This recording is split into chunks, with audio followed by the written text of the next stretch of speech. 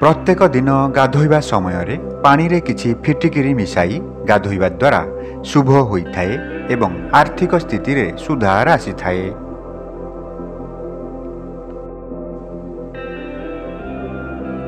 ଘରୁ ବାସ୍ତୁଦୋଷ ଦୂର କରିବା ପାଇଁ ପ୍ରତ୍ୟେକ କୋଠରୀରେ ଛୋଟ ଫିଟିକିରି ଖଣ୍ଡ ରଖିବା ଦ୍ୱାରା ଶୁଭ ହୋଇଥାଏ ଏବଂ ସୁଖ ସମୃଦ୍ଧି ଲାଗି ରହିଥାଏ।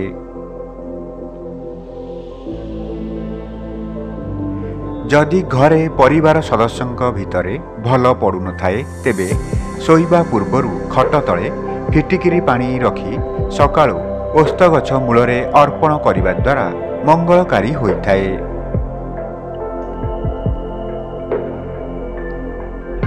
ରବିବାର ଦିନ ଗାଈକୁ ରୁଟି ଏବଂ ଗୁଡ଼ ଖାଇବାକୁ ଦେବା ଦ୍ୱାରା ଅତ୍ୟନ୍ତ ମଙ୍ଗଳକାରୀ ହୋଇଥାଏ ଏବଂ ଘର ଧନଧାନ୍ୟରେ ପରିପୂର୍ଣ୍ଣ ହୋଇଥାଏ।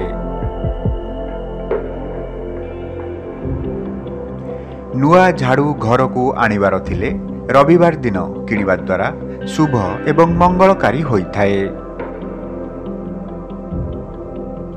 ରବିବାର ଦିନ କେବେ ବି ଘରର ପୁରୁଣା ଝାଡ଼ୁ ବାହାରେ ଫୋପାଡ଼ିବା ଉଚିତ ନୁହେଁ।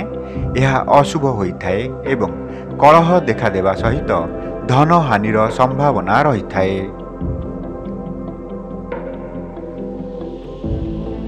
ରବିବାର ଦିନ ନଦୀ କିମ୍ବା ପୋଖରୀରେ ଥିବା ମାଛଙ୍କୁ ଅଟାର ଗୋଳା ଖାଇବାକୁ ଦେବା ଦ୍ୱାରା ଘରେ ସୁଖ ଶାନ୍ତି ପ୍ରାପ୍ତ ହୋଇଥାଏ ଏବଂ ଆର୍ଥିକ ସମସ୍ୟା ଦୂର ହୋଇଥାଏ। ରବିବାର ଦିନ ସମସ୍ତ ପରିବାର ସଦସ୍ୟଙ୍କ ସହିତ ଠାକୁର ପୂଜା କରିବା ଦ୍ୱାରା ଶୁଭ ହୋଇଥାଏ ଏବଂ ଧନର ଅଯଥା ବ୍ୟୟ ଦୂର ହୋଇଥାଏ। ରବିବାର ଦିନ ସନ୍ଧ୍ୟା ସମୟରେ ଓସ୍ତଗଛ ମୂଳରେ ଚତୁର୍ମୁଖୀ ଦୀପ ଜଳାଇବା ଦ୍ୱାରା ଧନ ବୃଦ୍ଧି ହୋଇଥାଏ ଏବଂ ଲକ୍ଷ୍ମୀଙ୍କ ବିଶେଷ କୃପା ପ୍ରାପ୍ତ ହୋଇଥାଏ ରବିବାର ଦିନ ସକାଳୁ ଉଦୟ ହେଉଥିବା ସୂର୍ଯ୍ୟଙ୍କୁ ଅର୍ଘ୍ୟ ଦେବା ଉଚିତ ଏହା ମଙ୍ଗଳକାରୀ ହେବା ସହିତ ମନସ୍କାମନା ପୂର୍ଣ୍ଣ ହୋଇଥାଏ ରାତିରେ ଶୋଇବା ପୂର୍ବରୁ ଜୀବନରେ କେଉଁ କାର୍ଯ୍ୟ କରିବାକୁ ଚାହୁଁଥାନ୍ତି କିମ୍ବା ଯେଉଁ କାର୍ଯ୍ୟ କରୁଛନ୍ତି ସେସବୁ ଚିନ୍ତନ କରିବା ଦ୍ୱାରା ସଫଳତା ମିଳିବାର ସମ୍ଭାବନା ବୃଦ୍ଧି ହୋଇଥାଏ।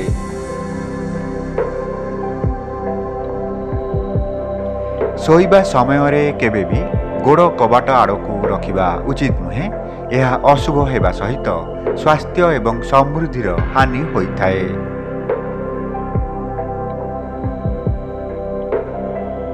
ରାତିରେ ଶୋଇବାର ଦୁଇ ଘଣ୍ଟା ପୂର୍ବରୁ ଭୋଜନ କରିବା ଉଚିତ ଏବଂ ହାଲକା ଭୋଜନ କରିବା ଦ୍ୱାରା ମଙ୍ଗଳକାରୀ ହୋଇଥାଏ ରାତିରେ ଶୋଇବା ପୂର୍ବରୁ ପାଣି ପିଇକରି ଶୋଇବା ଉଚିତ ଏବଂ ଭାଙ୍ଗି ଯାଇଥିବା ଖଟ ଉପରେ କେବେ ବି ଶୋଇବା ଉଚିତ ନୁହେଁ ଏହା ଅଶୁଭ ହୋଇଥାଏ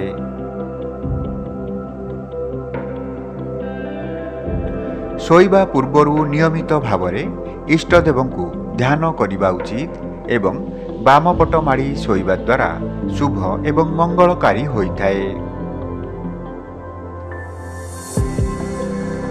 ଗୁରୁବାର ଦିନ ହଳଦୀ ଖଣ୍ଡକୁ ହଳଦିଆ କପଡ଼ାରେ ବାନ୍ଧି ବେକରେ ଧାରଣ କରିବା ଦ୍ୱାରା ଶୁଭ ହୋଇଥାଏ ଏବଂ ବିଭିନ୍ନ ସମସ୍ୟା ଦୂର ହୋଇଥାଏ ଗୁରୁବାର ଦିନ କଦଳୀ ଗଛକୁ ପୂଜା କରିବା ଉଚିତ।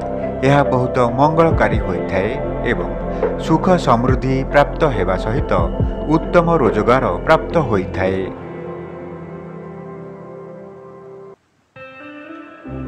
ଘରକୁ ଆସିଥିବା ଅତିଥିଙ୍କୁ କିମ୍ବା କୌଣସି ଲୋକଙ୍କୁ ସ୍ୱଚ୍ଛ ପାଣି ପ୍ରଦାନ କରିବା ଉଚିତ। ଏହା ଶୁଭ ହୋଇଥାଏ ଏବଂ ଘରେ ରାହୁଙ୍କ ଖରାପ ପ୍ରଭାବ ପଡ଼ିନଥାଏ। ଖାଇସାରିବା ପରେ ଅଇଁଠା ଥାଳି ଅଧିକ ସମୟ ପର୍ଯ୍ୟନ୍ତ ରଖିବା ଉଚିତ ନୁହେଁ। ଏହା ଅଶୁଭ ହେବା ସହିତ ଶନିଙ୍କ କୋପ ଦୃଷ୍ଟି ପଡ଼ିଥାଏ। ଘରେ କିମ୍ବା ବାହାରେ ଏଠି ସେଠି ଛେପ ପକାଇବା ଅନୁଚିତ। ଏହା ଅଶୁଭ ହୋଇଥାଏ ଏବଂ ଅଭାବଗ୍ରସ୍ତ ହେବାର ସମ୍ଭାବନା ରହିଥାଏ। କେବେ ବି ଶୋଇବା ଖଟ ଉପରେ ବସିକରି ଖାଦ୍ୟ ଖାଇବା ଉଚିତ ନୁହେଁ ଏହା ଅଶୁଭ ହୋଇଥାଏ ଏବଂ ଧାର କରଜ ବୃଦ୍ଧି ହୋଇଥାଏ। ଗାଧୁଆ ଘରେ ଖାଲି ବାଲ୍ଟି ରଖିବା ଉଚିତ ନୁହେଁ କିମ୍ବା ରୋଷେଇ ଘରେ ଖାଲି ଥିବା ପାଣି ପାତ୍ର ରଖିବା ଅନୁଚିତ ଏହା ଅଶୁଭ ହେବା ସହିତ ଆର୍ଥିକ ସମସ୍ୟା ଦେଖାଦେଇଥାଏ।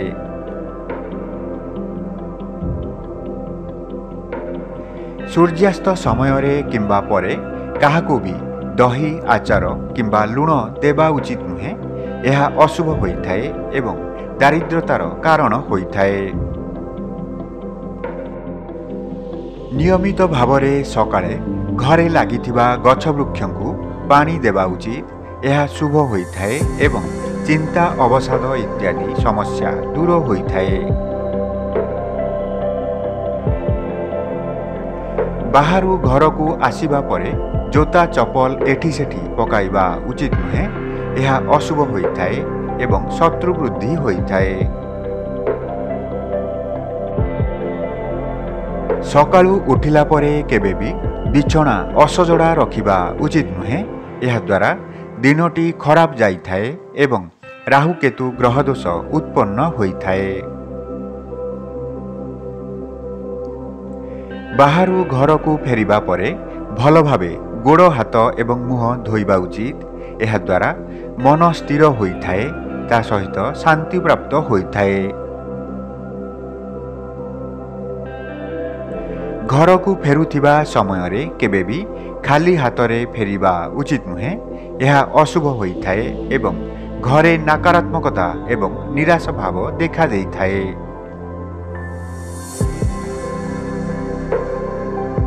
ଶୋଇବା ଘରେ କେବେ ବି ଠାକୁରଙ୍କୁ ରଖି ପୂଜା କରିବା ଉଚିତ ନୁହେଁ। ଏହାଦ୍ୱାରା ଘରେ କଳହ ଦେଖାଦେବା ସହିତ ଆର୍ଥିକ ସମସ୍ୟା ଦେଖାଦେଇଥାଏ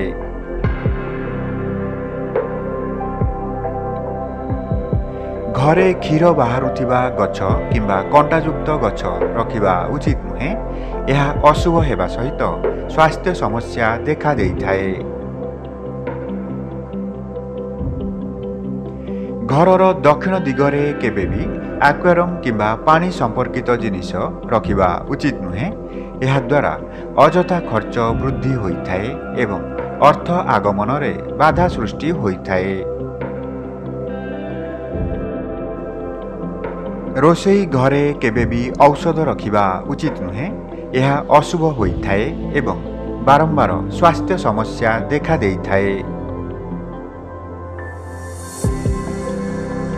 ଘରେ ଗାଧୁଆ ଘର କିମ୍ବା ପାଇଖାନା କବାଟ ଅନାବଶ୍ୟକ ଭାବେ ଖୋଲା ରଖିବା ଉଚିତ ନୁହେଁ ଏହା ଅଶୁଭ ହେବା ସହିତ ଅଯଥା ଖର୍ଚ୍ଚ ବୃଦ୍ଧି ହୋଇଥାଏ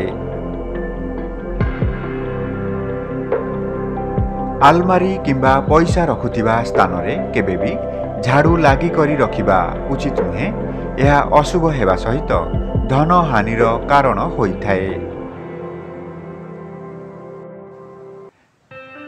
ଠାକୁର ପୂଜା କରିବା ସମୟରେ କୌଣସି ପୂଜା ସାମଗ୍ରୀ କେବେ ବି ଭୂମିରେ ରଖିବା ଅନୁଚିତ।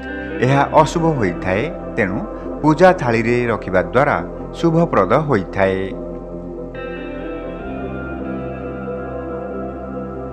ରାତିରେ ରୋଷେଇ ଘରେ ଅଇଁଠା ବାସନ ରଖିବା ଉଚିତ ନୁହେଁ ଏହା ଅଶୁଭ ହୋଇଥାଏ ଏବଂ ମାନସିକ ଚିନ୍ତା ବୃଦ୍ଧି ହେବା ସହିତ ଧନ ହାନିର ସମ୍ଭାବନା ଦେଖାଦେଇଥାଏ।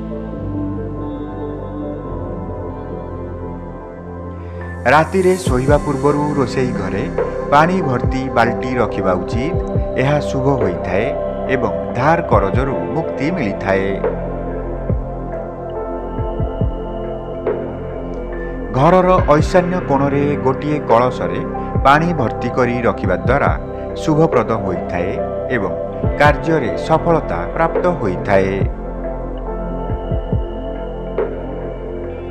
ସୂର୍ଯ୍ୟାସ୍ତ ପରେ କେବେ ବି ବାହାର ଲୋକଙ୍କୁ କ୍ଷୀର ଦହି ପିଆଜ ଏବଂ ଲୁଣ ଦେବା ଉଚିତ ନୁହେଁ।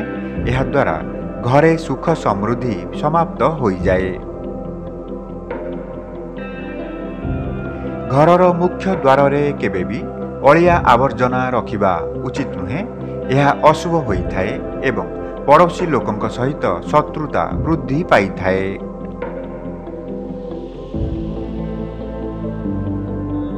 ଏହି ଭିଡ଼ିଓଟିକୁ ଲାଇକ୍ ସେୟାର ଏବଂ ଚ୍ୟାନେଲକୁ ସବସ୍କ୍ରାଇବ୍ କରିବା ପାଇଁ ଆପଣମାନଙ୍କୁ ଅନୁରୋଧ।